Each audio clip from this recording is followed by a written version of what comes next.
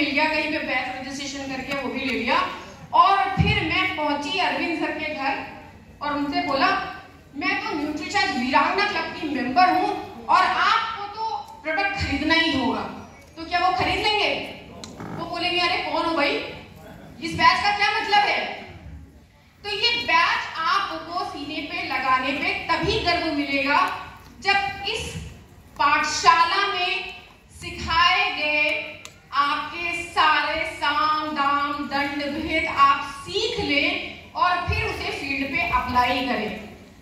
Batch लगाने के लिए नहीं है। बैच ग्रहण करने के लिए। अंदर लीजिए ऊपर नहीं दिखाइए। ठीक है? तो अगर आप न्यूट्री चार्जवीर और वीरांगना का सही फ़ायदा लेना चाहते हैं तो पंद्रह न्यूट्री चार्जवीर वीरांगना कंप्लीट करें रजिस्ट्रेशन कंप्लीट करें और सेशन अटेंड करना शुरू करें। बहुत से पुरुष बोलते हैं अरे मैडम ने कहा और मैंने खरीद लिया। लोगों की फ़िज़िकल ट्रेनिंग में बहुत बार ये हुआ मैडम खरीदवा तो दिया आपने अब बेचे कैसे? मान लेते हैं आ, हमारे पास भोला जी हैं भोला जी ने परचेज कर लिया वो आए मेरे घर में। मेरी छोटी सी बिटिया है उससे बात कर रहे हैं। अब हीमोग्लोबिन एस्टिमेशन बुकलेट है हमारे पास। देखिए जो टूल्स हैं टूल्स का क्या काम है कैसे आप ये न्यूट्रिचर वुमेन परचेज करने के बाद उसे सेल कर पाएँगे, उसका काम है ये। आप पहुँच गए आप। भोला जी मेरे घर आ गए। जान पहचान की तो घर के अंदर आके बैठ भी गए। अब बिटिया देख रहे हैं सामने, लेकिन बात बात में पूछ दिया, भाई, सेहत ठीक है, अच्छी है? सब करते करते हीमोग्लोबिन तक पहुँच गए किसी तरह। हीमोग्लोबिन तक पहुँचना आसान बात है कि भाई टेस्ट वेस्ट करवाया है तो मैं क्या बोलूँगी? अरे, मैं बीमार हूँ क्या? मैं क्यों टेस्ट करवाऊं? क्योंकि आप मानते ही नहीं है कि हम बीमार हैं। मानते हैं? नहीं मानते। तो भोला जी बोलेंगे, चलिए, कोई बात नहीं है। हम चेक कर लेते हैं। किससे चेक करेंगे? हीमोग्लोबिन एस्टिमेशन बुकलेट से। सुई लगाने की ज़रूरत नहीं है।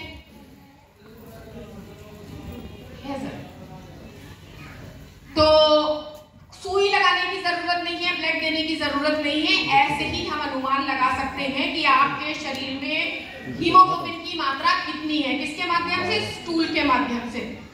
ओपन किया, आँखों के रंगों को शेप कार्ड में मैच करके देख लिया कि आपकी आँखों का रंग कैसा है, आपके नाखूनों का रंग और उसका टेक्सचर कैसा है, जीवा का रंग। ये इसका कलर बताता है कि आपके शरीर में हीमोग्लोबिन का स्तर कितना है, हथेलियों का रंग और हथेलियों की रेखाओं का रंग।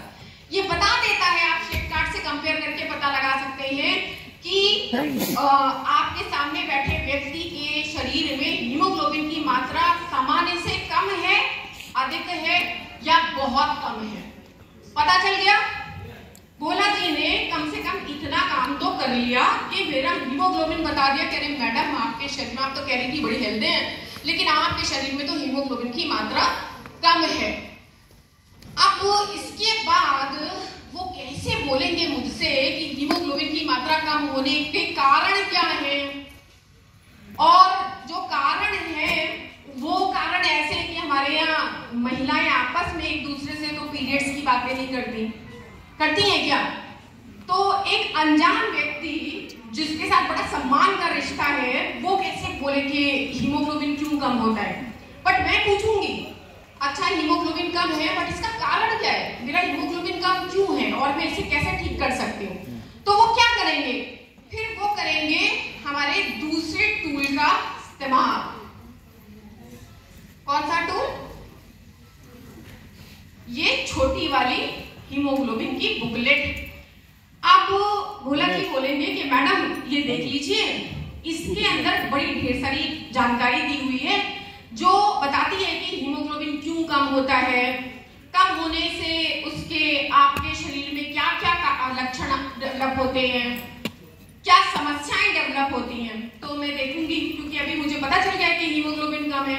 और ये सारी समस्याएँ देखने के बाद इसमें एक समस्या ये भी लिखी होगी कि हाँ पीरियड के समय पर जब ब्लड बहुत लॉस होता है तो भी हीमोग्लोबिन कम होने लगता है।